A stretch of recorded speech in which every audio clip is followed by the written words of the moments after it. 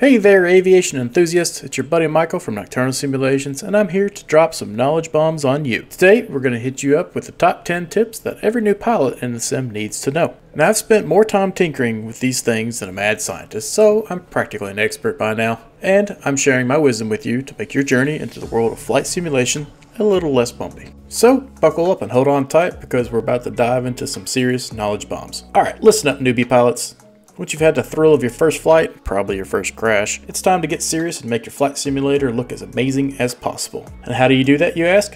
By optimizing your computer's hardware settings, of course. Now, I know it can be a bit overwhelming at first, but fear not. Many of us seasoned veterans have been down this road before and have shared our wisdom to help you out. The easiest tool you can use is the built-in frame counter. It's like a virtual fitness tracker for your simulator. To enable it, just go to the general options and turn on developer mode. Then enable the in-game FPS counter on the debug menu dropdown. Simple, right? Now, I won't go too deep into details on how to use this tool just yet, but I'll give you a little tip. Your CPU can only handle so much before it hits a bottleneck. So, if you want to achieve a smooth 30 frames per second, you need to keep your system delay to 33 milliseconds or below. Now go forth and optimize, and remember, the sky's the limit, unless you hit that pesky ceiling, of course. If you're anything like me, those darn nameplates in the sim can be a real eyesore. But I've got a solution that'll make your life a whole lot easier. What I like to do is disable those suckers by default. But I've also got a nifty little trick up my sleeve. I've keybound the option to enable and disable the nameplates on the fly, pun intended. That way, when I'm flying with buddies and need to keep an eye on them, I can quickly turn them on,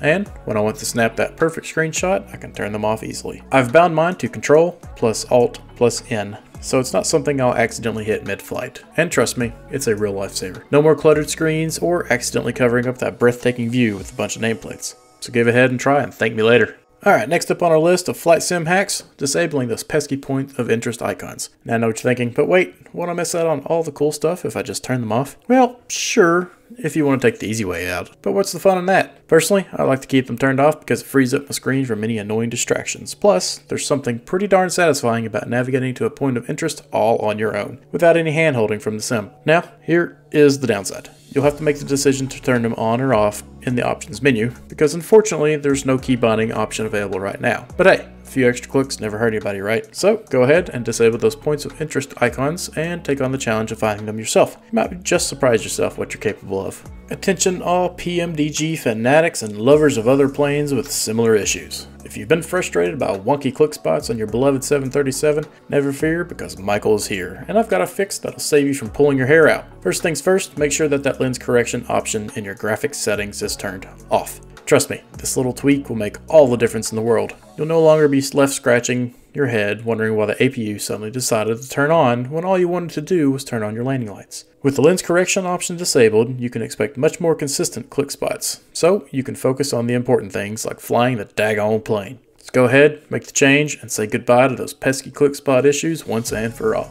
Coming in at number 5 on our list of must-know tips for new pilots, it's all about those multiplayer settings. Now, if you're serious about getting into the multiplayer scene, I highly recommend checking out my video, linked below, for a more in-depth look. But for now, let's cover the basics. First things first, make sure you're on the same server as your flying buddies. Trust me, don't want to be that guy flying around on a different server, wondering why no one's ever able to see you. Once you're all on the same page, head on over to the map screen and click on Flight Conditions. From there, adjust your settings accordingly, set multiplayer to all players, turn off air traffic because who needs AI planes when you've got real pilots to fly with, and make sure weather and time are set to live. That way, you'll all be flying in the same conditions, and nobody can use the old, but my weather was different excuse when they crash. And that's it. Follow these simple steps, and you'll be soaring with the best of them in no time.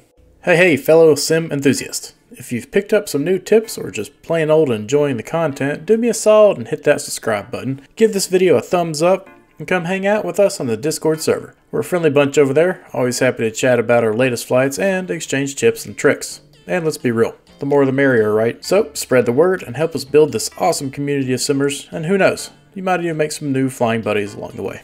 Let's move on to number 6. For those of you who haven't ventured into the world of third-party mods outside of the marketplace, or if you've never added a mod at all, this one's for you. Finding your community folder can be a little bit tricky, depending on where you bought the simulator from. If you're like me and use the default location for your installation, you can find it here. For the Windows Store install, check this out. For the Steam install, check this out. An important thing to note is that Windows 10 likes to hide the app data folder by default, so you'll need to go to View in the menu of the File Explorer and select Hidden Items to make it visible. And for those of you who use the custom location for your flight simulator installation, well, you're on your own. Just kidding. You'll need to proceed to that custom location, which in my example case was the following. Next up, let's talk about how to actually install those sweet add-ons into your community folder. First off, you'll want to locate the zip file you downloaded, and if you're using the default Windows unzipper, go ahead and unzip that file, being sure not to bury the main folder under another one. But if you're like me and prefer a little extra zip in your life, try using a third-party program like 7-Zip to speed things up. Just drag and drop the folder from 7-Zip into your community folder, fire up the sim, and you'll be soaring through the skies with your new mods in no time.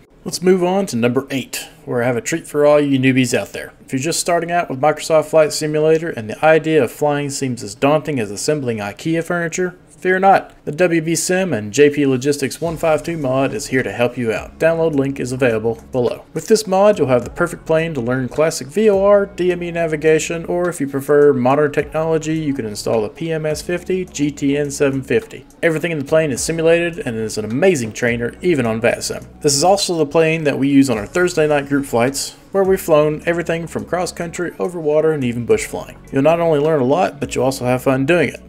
It's like learning how to drive a car, but way cooler. If you've been following my channel for long enough, you probably know I'm head over wheels for this airplane. As a special treat, I challenge you to test your skills with short-field landings using this aircraft.